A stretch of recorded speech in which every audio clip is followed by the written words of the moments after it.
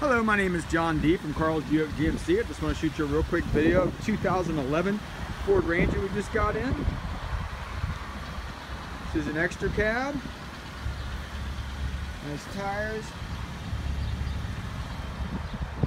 It's got a sprayed bed liner, sliding window.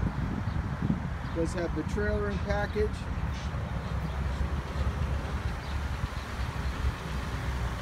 This Ranger comes equipped with power locks, power windows, power side view mirror. AM, FM, also has a CD player, an auxiliary port, and cruise control with the overdrive. 71,856.8 miles on it. Give me a call at 772 287 2424.